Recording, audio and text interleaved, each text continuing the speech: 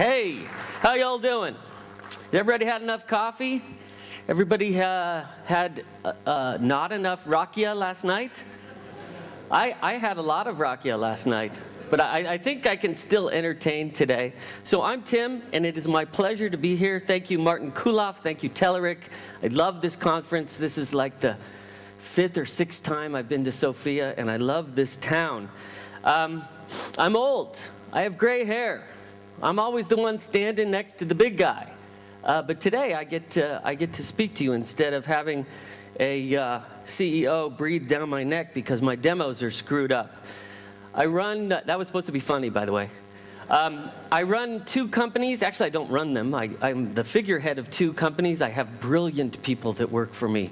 So I'm honored to do that. One's a custom software company, and you, you've seen many of the keynote demos and stuff that we build. That's InterKnowlogy. The other one's just a, a product company. Like Telerik, uh, we build kiosk and interactive software. Enough about the about Tim stuff, um, the uncomfortable about Tim stuff. So I thought I'd do this keynote, and I've been doing a bunch of keynotes for the last few years. I thought in, in this case I'd give you a little bit of my history.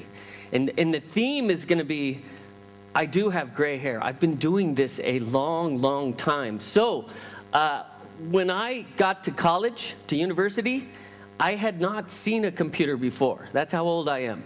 We didn't have programming in high school. We didn't have computers. We had Latin. That's supposed to be funny too. Am I not funny today? Um, I've never been to anything but Catholic schools. Out of, out of university, I joined EDS. Does anybody even know who EDS is anymore? When, when Ross Perot ran the company, believe it or not.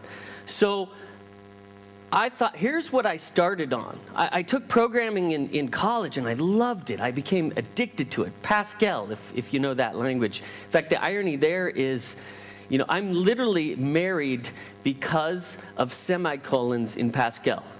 Now, R Richard and, and Carl are in here somewhere, and they know my wife, who's here with me.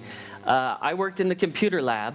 She came in, had a syntax error. I added a semicolon. She said, I'm going to marry you because it compiled, right? and then, isn't it ironic that C sharp comes out and, and they require semicolons? I feel so much love by that. Anyways, does, does anybody know what this is? Other than Richard, because Richard knows everything, right? Does anybody know what this is? Anyone? Yeah, I heard it. I heard it. Go ahead, shout out. I'd, I'd love it. That's uh, JCL. This is what I did for a year. This, I allocated resources like memory to the godlike COBOL programmers that, that got to write COBOL. And I wrote this crap. Does anybody know what this does? The, the one guy out there who knew this was JCL? Anyone? It does that. Now, for those of you who are under 30 years old, this is a DOS prompt. This is, this is how we used to use Windows, right? Um, that's all that does. After a year, I got to do this. And you probably know what this is. This is COBOL, right? Anybody remember level 77? When they introduced level 77 to COBOL? Other than Richard, does anyone know what level 777 does? It, it's um, allocating dynamic memory. Like um, in, in IIS, in A, classic ASP, what was that, uh, what was that memory variable that you, session. Remember session variable in, I, in the first version of ASP? You carried memory around um, it, it, for the life of your app, and it, it caused your, your CPU to die. And anyways, this was a big deal for COBOL, and it's not resonating with you guys, so I'm just going to move on to Pascal. This is where I really found, um, fell in love with programming. Uh, because I, I used a PC for the first time. I got to use, at IBM, an IBM XT. Does anybody remember this? I can't see your faces because of the lights. Uh, an IBM XT, it was in 19 oh, let's see, 1985, it was $10,000. It had a 10 megabyte hard drive, 10 megabyte hard drive. And it was the, the most awesome thing in the world. This is when I fell in love with PCs. So, I'm old, right? Have I, have I not said it enough yet? The, I am, look at, look at that in the top right. That's my actual Microsoft certified professional number. Seriously.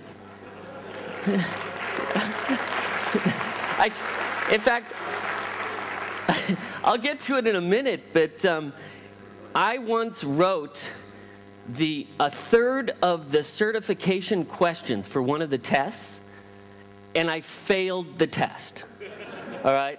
Um, so this is back when this is back when when Bill, you know, Microsoft was one building, and Bill Gates, as we're taking this test on the first, the very first version of SQL Server, which Microsoft didn't even build, it was the Sybase product.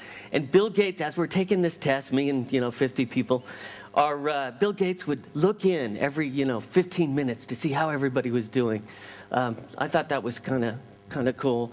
Uh, so I. Um, uh, you know, because I went to university in the 80s, there was no such thing as object-oriented programming. You know, it, it's funny how we've gone in this transition from non-object-oriented programming to object-oriented programming, and now they're not teaching object-oriented programming in university, at least in the U.S. anymore.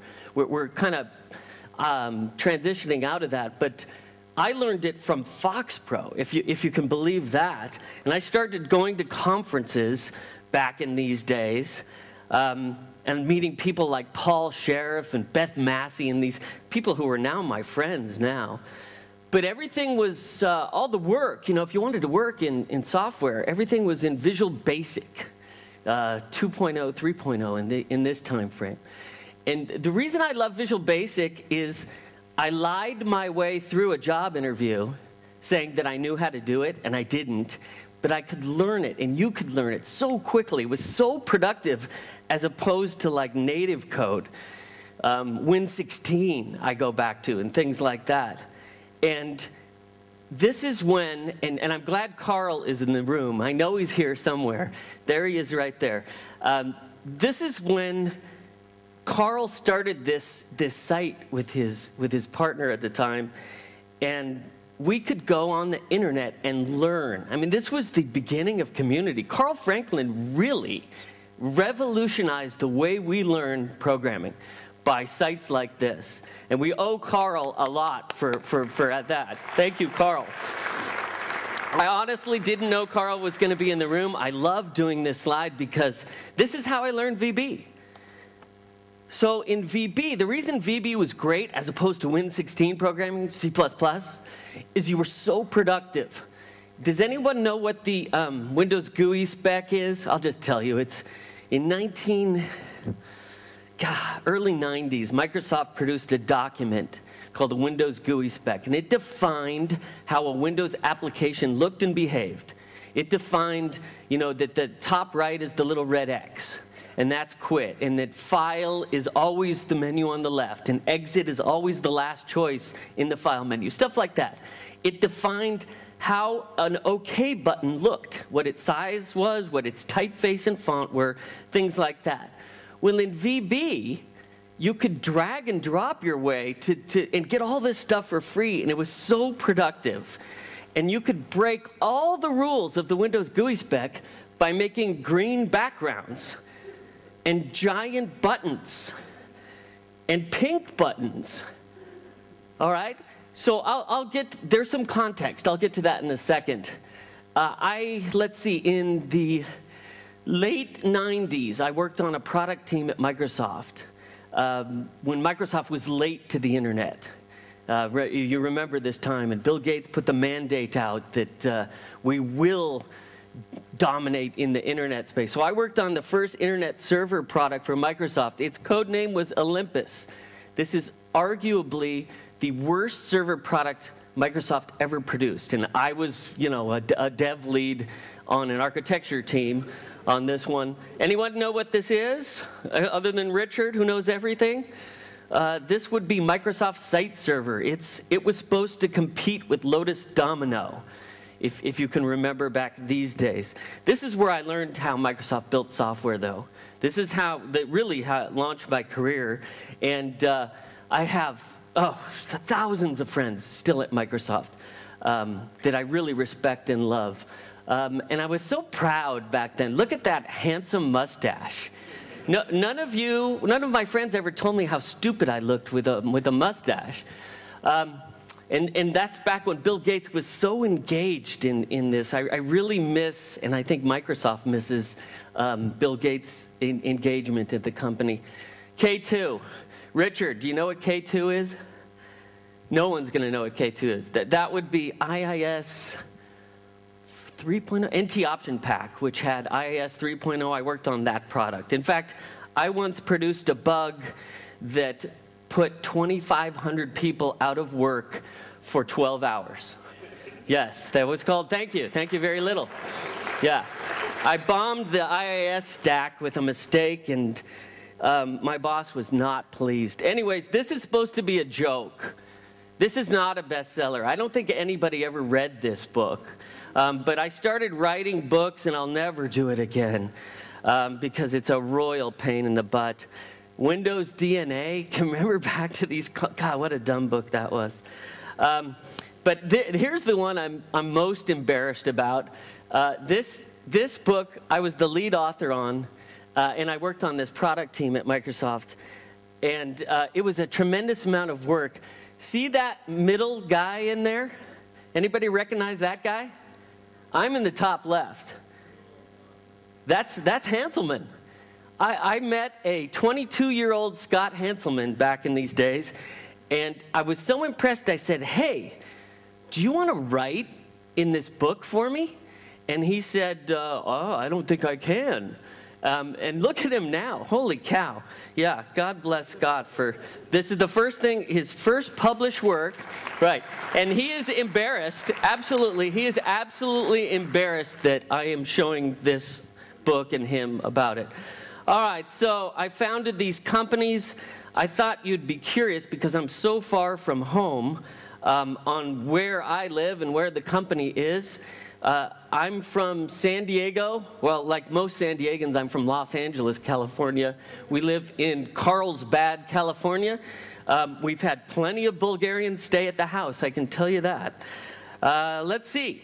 So back to pro productivity. I'm all about developer productivity.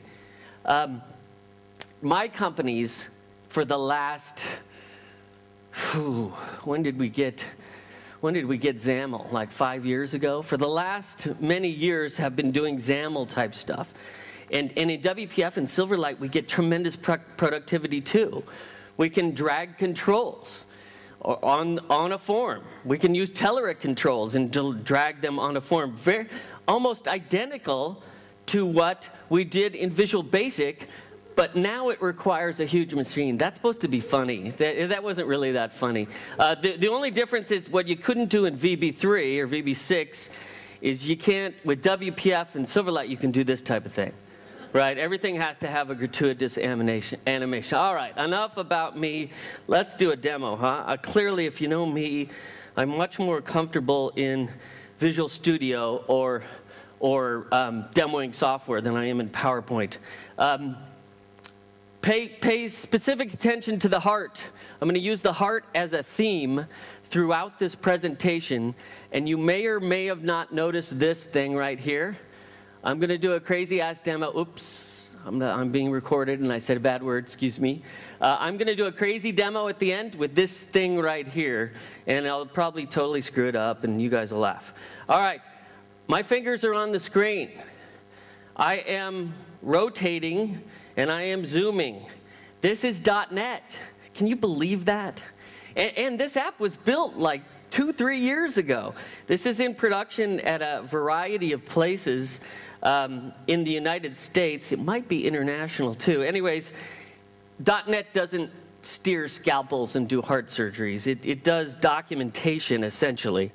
Um, so I am drawing, what, what the surgeons typically do is they'll run in the room and they'll draw an artery or something like that the way it appeared, or, and here's the, or, or the way it, it was in the actual patient, and they'll, in this world, they put stents, I'll put a stent or a lesion, And in this world, you either prop up an artery or you tear it down. One's a stent, one's a lesion. I always get them mixed up. But they're essentially documenting a heart procedure. Here are the actual magnetic resonant images of what was done to the patient. But typically, you know, surgeons are not partying on the outside of the heart. They are partying on the inside of the heart, right? So I can just as easily I can just as easily, and if I knew what the hell I was looking at, I could zoom into an artery or an aorta or something like that. Um, do you not think that is cool? That, that is amazing. It's just.net.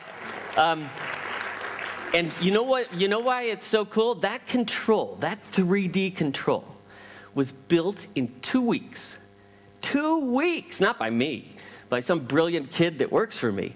Um, but the, the productivity we get in .NET is, is just so amazing. Uh, and and you, you may be saying, oh man, that's cool, I want it. You are more than welcome to have this 3D code. In fact, you could go to Codeplex and grab it. Search on my name or InterKnowlogy or The Heart or something like that. We put it up on Codeplex. So if you want to spin your own 3D, amen, go for it. All right, moving right along. And I only have an hour, so I need to go kind of quickly. I hope you don't mind. Oh, yeah, I was going to show you this thing. Um, remember, we're on a heart theme. Does, does anybody know? I'm sure you do. This is the world, let me just tell you, this is the world's, the United States' most stupid television show. All right? I, I personally have never seen it end to end, uh, and, and we build software for it. Um, my wife loves this show, though. If there are any males in this room that have seen this show, you should be ashamed of yourself. All right, so let me show you, let me show you this. There's this Dr. McDreamy guy and Dr. McSteamy guy, and I, all right, are we ready for sound here? Here we go. I'll resect both atria and build new ones out of bovine pericardium. And during reconstruction, Dr. Hunt will stay with Linda using a human donor aorta to prepare the vessels for reimplantation.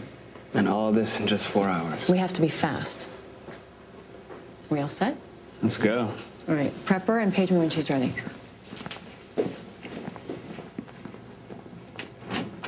Christina? Are you excited? Yes, absolutely. Good. Good. Here's the love interest. Notice in the back. The fear of going back in is worse than actually doing it. Just getting back on the horse is all it is. You keep an eye on Carrie. All right, enough, enough, enough, enough. I'll reset. Okay, you, you thought was, we were going to watch the whole episode, didn't you? No, don't clap for that. I'm ashamed of that. Don't clap for that. No, but that is cool technology, right? Uh, I should probably tell you something interesting about that. It took 17 takes to do that two minute scene. And the reason it took that time, the handsome doctor guy, he leaned into, uh, what's, what's the actress's name? Christina O? Sandra O. He leaned in and his elbow touched the Microsoft Surface and it would reorient the heart. And he did it 16 times in a row. Uh, true story. Very nice people, by the way. You hear, uh, you know, terrible things about actors in Hollywood, but th these are very nice people. Um, all right. Here's what I started with. This is one of the computers I started with. We have come a long way in hardware, haven't we? Um, there's nothing new about touch devices. We've had them since the 50s. I, I put the, you know, I, I changed this slide and put the Microsoft Surface 2. I, I was really hoping to have one with me for this. In fact, for the last 14 months, every month I get a new email from Microsoft saying your brand new Surface 2s that you bought in October of 2010 will be delivered next month. 14 straight months in a row. Um, but that device will come out, and it has plenty of competition, doesn't it? Uh, but it is a brilliant device. And of course, I'll, I'll show you a little bit of Windows 8 today. Uh, I know other speakers are doing it, so we won't go in any, in any detail in this keynote. But I have a session later on today that uh, I will go into some detail. Um, so what's new is the commoditization of hardware. Uh, in other words, these things are getting cheap. These things are getting really um, inexpensive. Um, and, and, I'm not talking about $800 couch computers from Apple. I'm talking about PCs that, that actually are at a price point that uh, many people can afford. You are going to get, I was just talking to Richard about this, you are going to get multi-touch in your computing devices, whether they be from Apple or Dell or HP or whoever, whether you like it or not. Um, it's just become so inexpensive they're, that they're going to be in mobile devices and, and that type of capability will be for everyone. Anybody recognize this date? Richard, I bet you don't even recognize this date. This, I have been preaching multi-touch and the natural user interface, interface, NUI. I have been preaching this for over five years, but it wasn't until this date that anyone really believed me that we are going to be using computing devices. This date was this.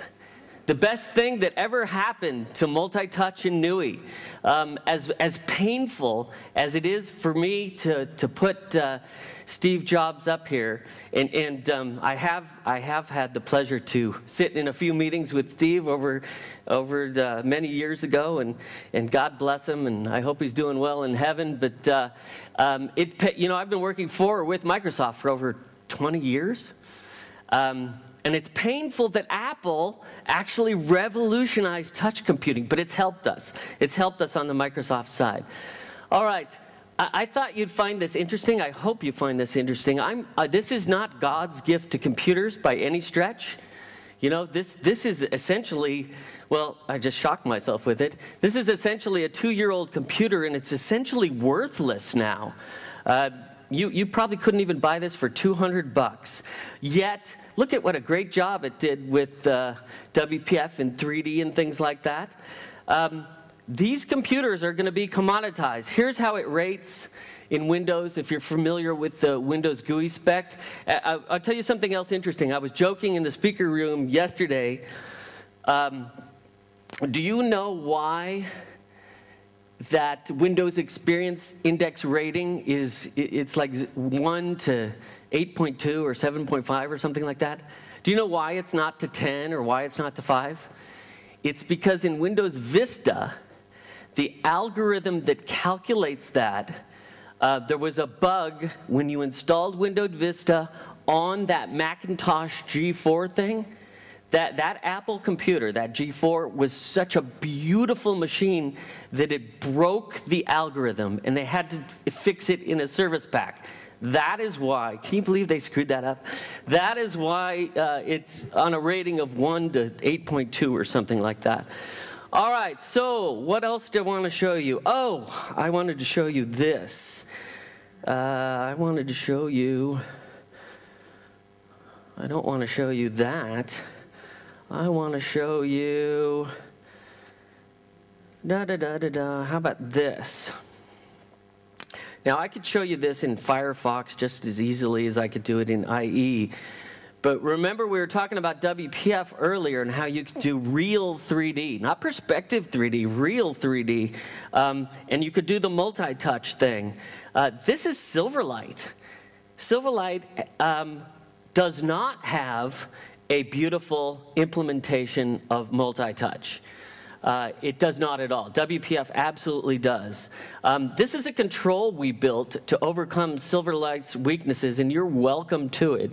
Um, and in fact, anything I show you today, you're welcome to, short of uh, the Grey's Anatomy stuff, which I'm technically not supposed to show because of copyright. But uh, I can build this app. I won't do it here. I'll probably do it this afternoon. I can build this app in five minutes. Why? Because the geniuses that work for me built a control that has all the trigonometry and all the calculus and all the stuff that, that, that allows us to implement multi-touch in a browser. Uh, in, the Silverlight API for multi-touch is basically, I know something's been touched, I just don't know what and where. So with companies like Telerik and, and, controls like this, remember I'm all about developer productivity, we can build apps like this. In Blend, I can build this app in five minutes without typing code. Drag the control on, click, click, click, set some properties, boom, I'm done. That is very powerful. That's powerful for us programmer types um, that get so much productivity out of .NET and soon to be Windows RT.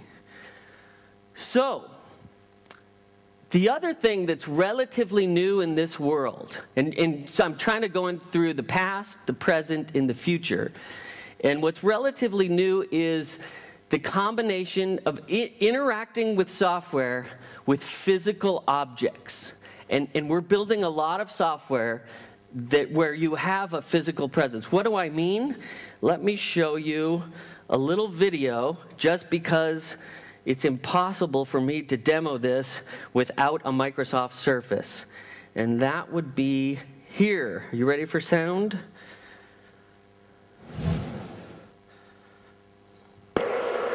Hi, this is Tim from InterKnowlogy, and I'm here with Dan Hannon. Hi there. Hey, Dan.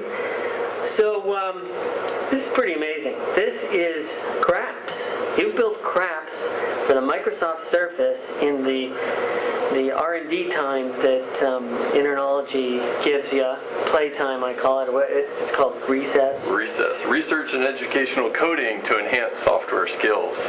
Fantastic. Beautiful. So in your recess and your R&D time, you have actually built craps. Um, so this is a fully functional craps game. Um, with the rules and the betting and everything.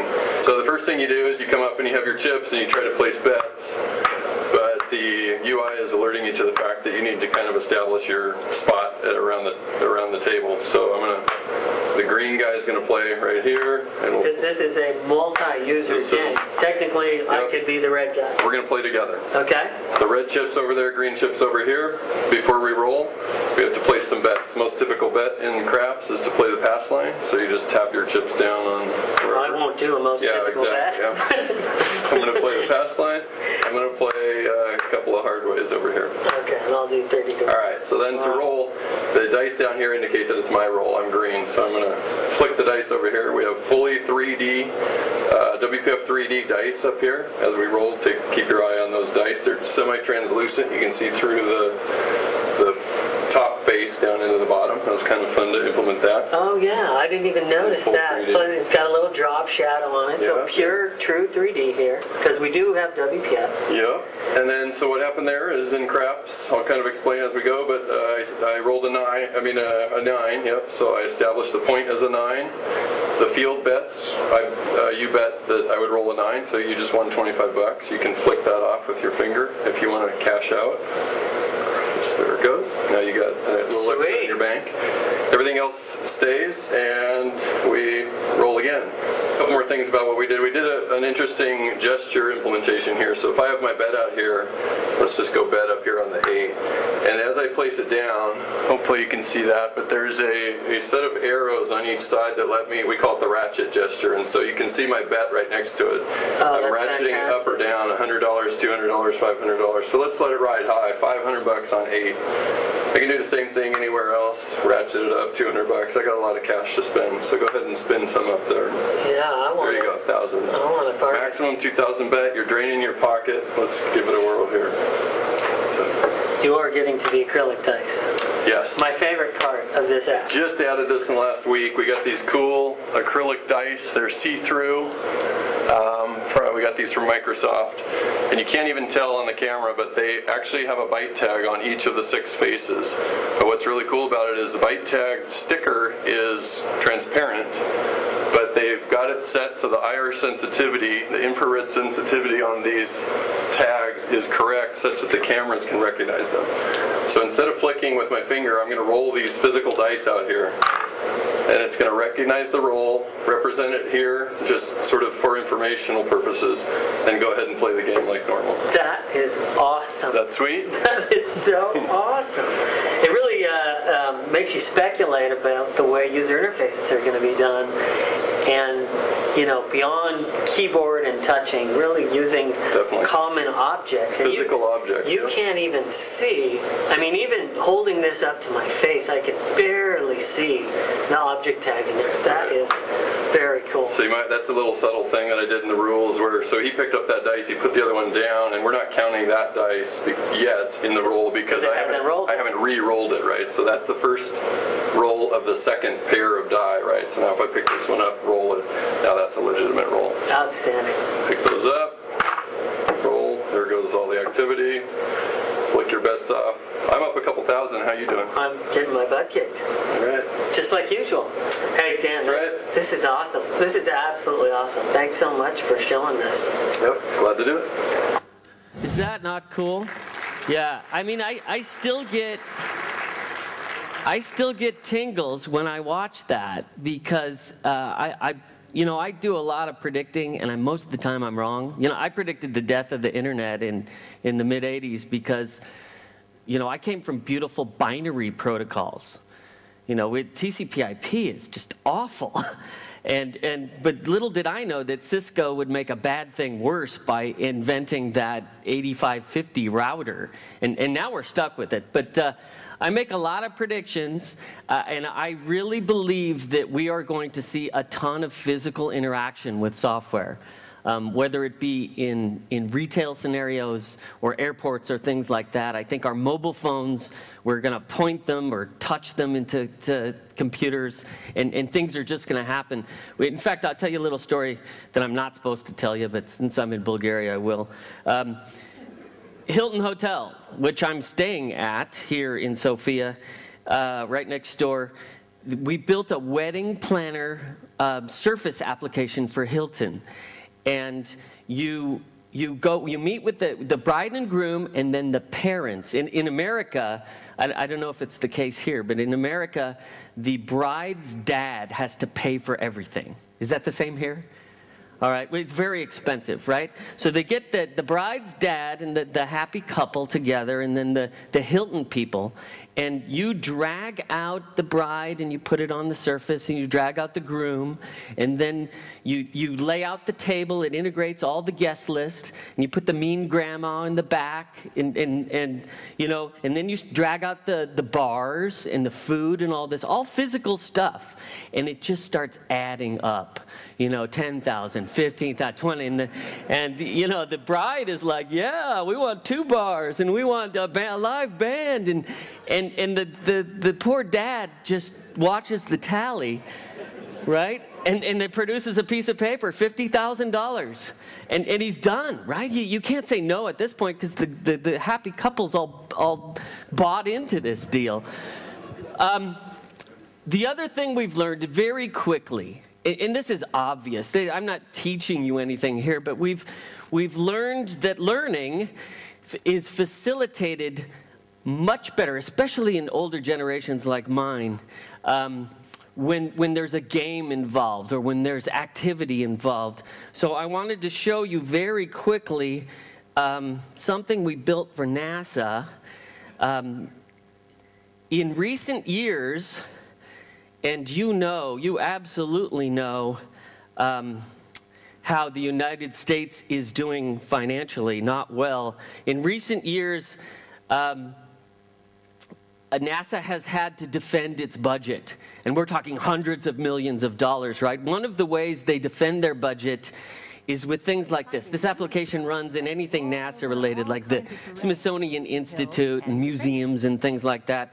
The, the job here the, the, is that you learn about ha- what it takes to launch a rover for Mars. And, and this is fully multi-touch capable. I can, I can put my, my fingers on the screen, and I, I won't go through this whole thing because it takes about an hour. Uh, unless you're one of the engineers that built it, they can they can click click click click click click, click, and ultimately get to the countdown. You know, 10, 9, and the, the rocket blasts off.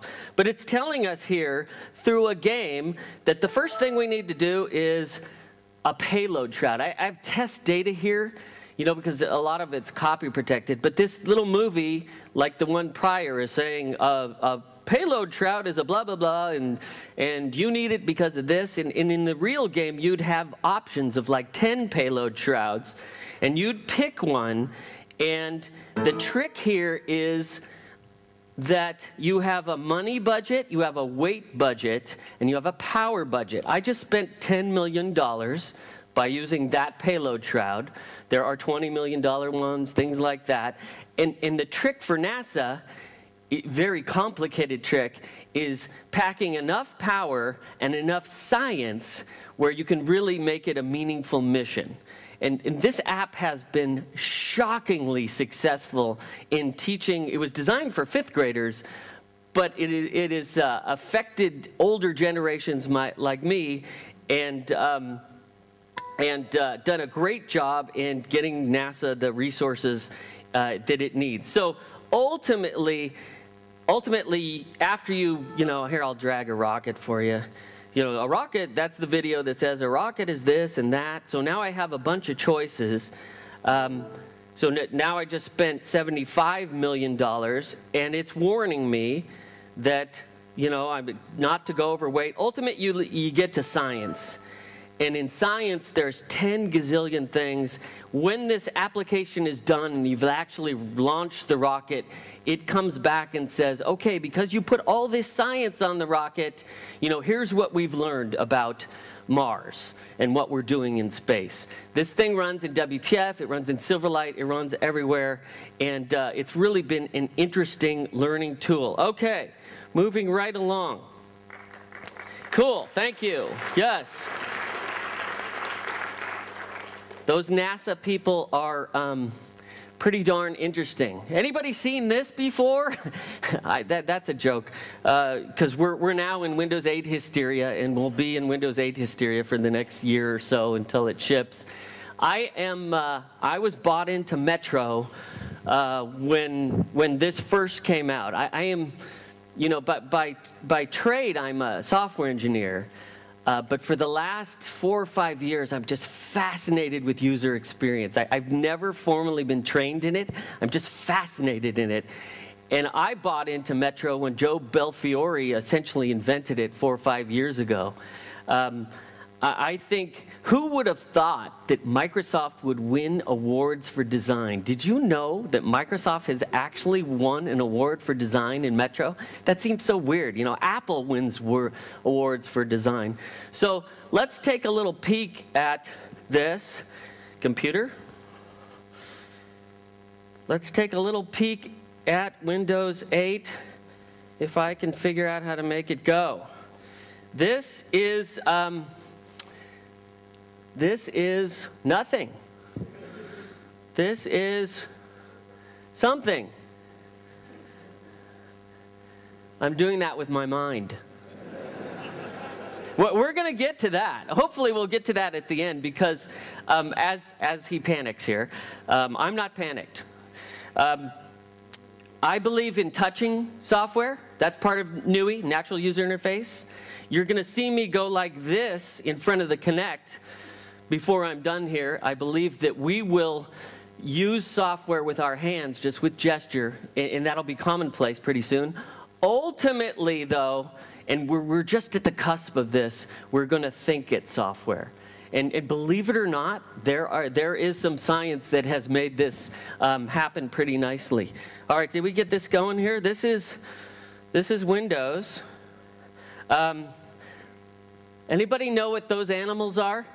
I promise you, none of you know what that animal is. If you do, I'll get you something awesome from Telerik. Even Richard doesn't know what that animal is. That is a rainbow trout. You, you have trout in your mountains here. Um, one of the brilliant things, not invented by Microsoft, but it, it certainly implemented here in Windows 8, is gesture-based authentication not biometric. You know, it's not getting my my uh, fingerprint or looking at my eye scan, but I have done the I have um, configured this so if I circle the trout's eye, and then I circle the mayfly, and then I tap him on the nose, I'm authenticated. Now, you, I don't know if you noticed, but it also said, hey, You know, if you just want to type your password, click here, right? So um, I think that's brilliant. This is the Metro interface. Oh, by the way, this is not that cool tablet, cool, awesome tablet that they gave out at the Build conference a couple months ago. This is actually, I stole this from the dev team. Uh, I don't know if you can see that. Can you go to the camera thing? It's really not that big a deal if you, if you can't go to the camera thing.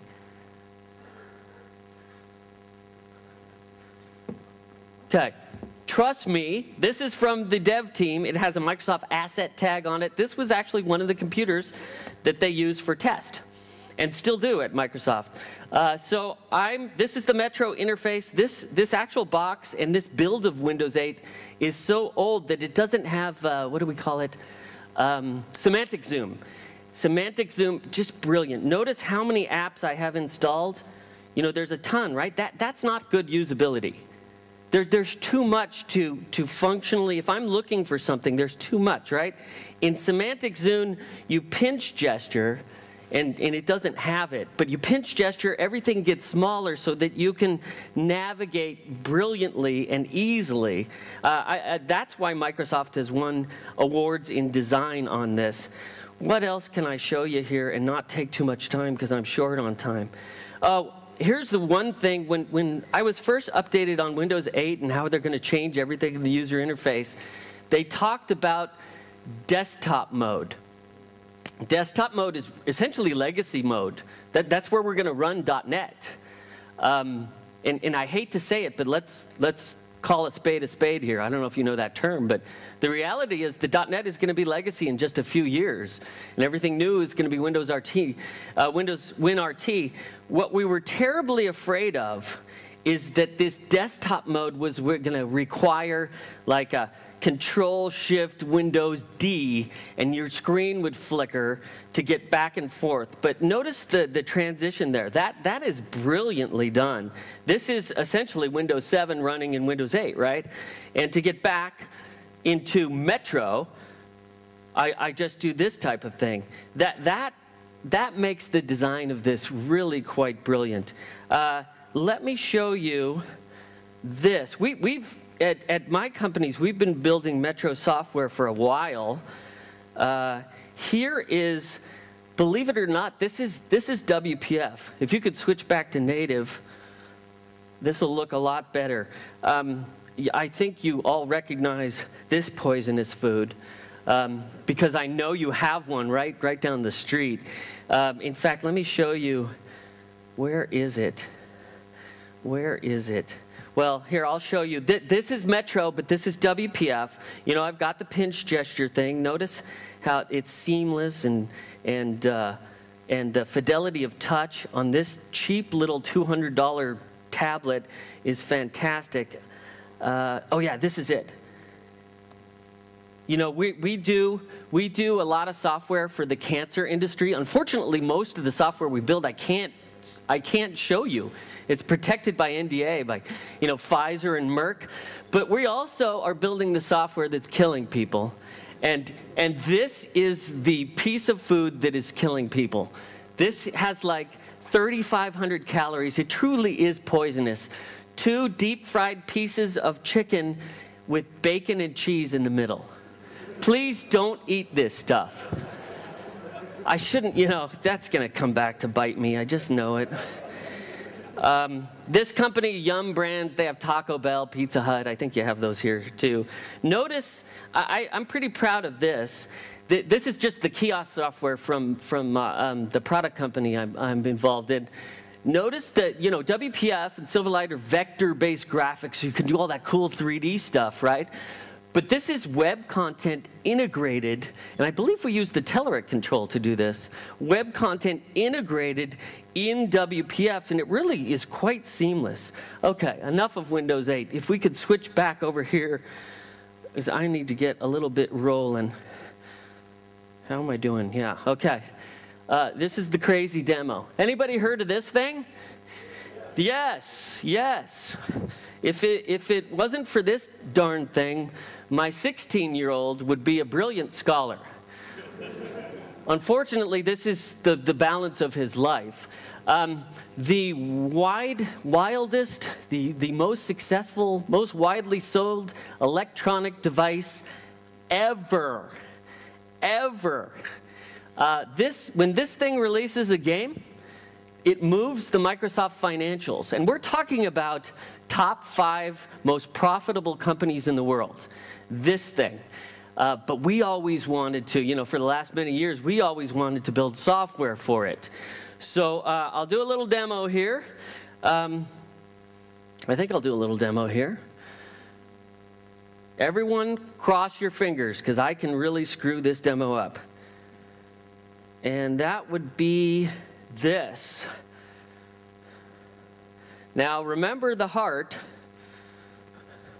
Please work, please work, please work, please work. Oh, thank God.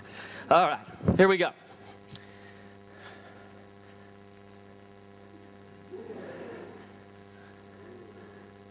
Oh, God. See, see my third hand? There's my fourth hand. All right, hang on, hang on, hang on. Let me try this again. All right. Now I have eight hands. Trust me, in, a, in, a, in the right environment without this light and things like that, you can actually get a pretty good fidelity. We build a lot of Kinect software now. Um, God darn it, I knew I'd screw this up. I can, I promise you, I can rotate that heart. and I can zoom it with my hands. I promise you I can. Damn it. Nine hands, 14 hands. It, someone's waving behind me. It's got to be. All right, you're going to have to trust me. I, will do other Kinect demos in my session um, later this afternoon.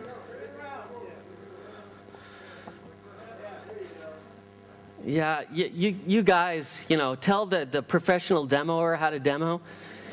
All right.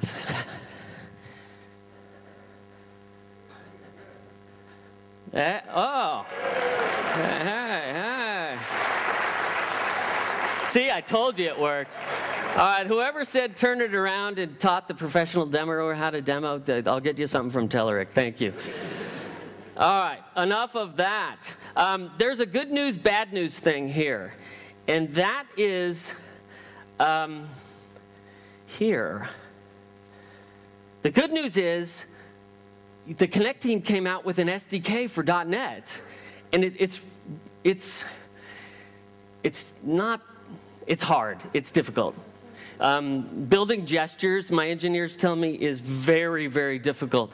Remember, I'm involved in kiosk software, right? And if you're in an airport, the last thing you want to do, well, the Sofia airport is beautiful and clean and nice, but my airport is LAX, Los Angeles. It's the most disgusting airport in the world. And the last thing you want to do is touch anything in LAX, right? But, but if you want to see your flight, you absolutely want to do this if you want to see information about, about your flight, right? That you, so you can see a world where this gesture-based thing is going to work. We are already building production software illegally for Kinect. And the way we do it is in the contract for these companies, and I won't name them, um, they, they take all the liability. If Microsoft comes back and says, you know, we're suing you because you put a Kinect app in production, they take all the liability. Uh, and, and I know here in Bulgaria this is particularly painful. The reason there is not a commercial license for Kinect is the, the NAFTA thing. My, Microsoft has to negotiate with every country. So Windows Phone 7, Xbox, all that stuff that takes so long to get to Bulgaria, it's a, it's a governmental problem, not a technology problem. It's not Microsoft's issue. It's just like an Xbox. They have to negotiate individually with each country so we don't have a commercial license to be able to do this yet, but we will soon, I promise. Uh, I talk to that Kinect team almost every day. Uh, so I showed you that. All right, you thought I was crazy. How am I doing? Oh, perfect. I'm doing great on time. Um, you thought I was crazy when I told you about this. We are eventually going to think at software. Uh, the first time I saw this was uh, a year ago a couple years ago at, um, what's the name of that conference? It's not a Microsoft conference. I forget that, what was that, Carl? Yeah, TED. They dragged some guy out on stage. You know, like I would, I, I can't wait to do this demo live. They dragged someone out on stage, put the headset on him, you know, did a little training thing. It took, end to end, it took about 15 minutes. And I can only do five minute demos here, right? So, and he literally was manipulating software by thinking at it. Brilliant, awesome. We're, we're gonna get there, and, and quicker than you think. And if you don't believe me, uh, let me show you a little video. Eventually, I'll be able to demo this on stage, but the training, you know, that, that where you, you configure the software to, that, it, that it's, way, the, you know, your brain's wavelengths are all synced up, takes too long. So let me show you this little video. Them. Future gamers won't need a joystick or a paddle. They'll interact with their games directly from their brains, using devices like the EPOC headset from Emotiv. Our whole interaction with the virtual world is going to be far more natural. We'll be able to use our brain um, and our facial expressions and our emotional experiences to really experience content in an entirely new way. And what we've created is a brain computer interface that really transforms the way that humans interact with machines. The Emotiv EPOC wireless headset has 16 independent sensors that pick up electrical brain signals on the surface of the scalp. We identify um, a signature for a particular thought or a particular emotion, and then in real time, we classify those brain patterns. So when you think it, it happens on the screen. You think push, the object propels forward. So now my master's showing me how to pull using that tree. Then he'll ask me to focus all my thoughts on pulling that tree towards me. There are 13 individual detections push, pull, lift, drop, left, right, and then rotation in six different axes in a 3D environment. You can even visualize an object disappearing, and it will. But the headset is more than just a brain powered joystick. It allows the game to detect whether or not you're actually having fun. It observes your experiences excitement versus calmness, emotion, tension, frustration, engagement. There are these mischievous spirit wisps that instead of pressing a button, I can scare away just by looking fierce. So, and you by the sky color that I enjoy that part.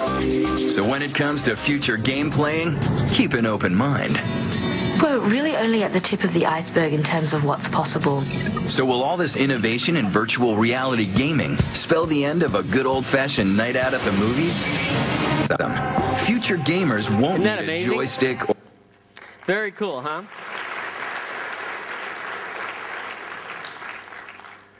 Um, yeah, you may be thinking, you know, what, what the heck is a use case for thinking at software? Um, but non-conscious type software. Imagine a world, and this is so Apple to do this. This is not Microsoft, but imagine a world where as you're listening to music, and the, the, the software is reading your thoughts, whether you like the music or not, and creating a database essentially of the patterns of music that you like. Right? With that, that, that would be like a non conscious use case for uh, mind manip- manipulation of software. If someone were to invent that, they would make a fortune. This thing is only 300 bucks. And the, great, the really good news is it's, it already has an API for .NET and comes with a bunch of sample apps. I started talking about this in keynotes about a year ago, and people from my audiences are building the most amazing things. Trust me when I tell you that Microsoft Research has a ton of these things. You know, it's only a matter of time before we are going to think at software. That is very, very powerful. All right, this, let me wrap this up for you so I can get you off um, to sessions. Uh, this is not Microsoft's definition of NUI. This, this is just little old me. I think the natural, the natural user interface is three basic components. It's multi-touch, not single touch, it's multi-touch manipulation uh, by physically touching devices. It's gesture capable, and we are just at the cusp of that. I think over the next year, we're, we're going to see a ton of gesture-based software. Since the device, this thing, is 150 at retail, and it has competition. trust me, there are plenty of 3D cameras out there. That's all this is, essentially. A 3D camera with um, a multi-spectrum audio microphone. Oh, by the way, you know, I was going like this, but I could just as easily say, zoom, rotate left, you know, and, and it'll pick, in fact, I probably shouldn't tell you this, but we, we have built the Big Brother software for this. We, we can look at you and pick you out individually. If, if you're looking at the kiosk, right, we, we can tell whether you've been there before. We can tell what race you are. We can, with an algorithm, we can generally tell how old you are. That's what advertisers want. Um, I think that's an infringement on my personal freedom, but, but we have built that software. So I, I think gesture, uh, you know, I'm very proud of the cancer research stuff we do. I really am. I really am. Um, everything else, oh goodness, it keeps the lights on. Uh, and then ultimately, the third component, I believe, of NUI is going to be neural-based interfaces where we think at software. Um, we're not there yet. Uh, so we need Carl Franklin to build something like this. This is what I want. I want to walk into the holodeck and I want to meet that beautiful woman, actually. God, I hope my wife's not in the audience. Uh, and I want to manipulate uh, like they do on Star Trek. We're not far off from this, and people like Carl are going to be the ones that are going to build this software within a few short years. All right, so if I've done my job effectively, I've kind of got, got, you reinvigorated about building software in the future of how we're going to manipulate things. It's, it's more than staring code, staring at code, right? It's the way our users use software. So with that, I'm going to let you go. And I appreciate you guys having me, having me here. If you want any of this stuff, feel free to contact me. And thank you for coming. Thank you.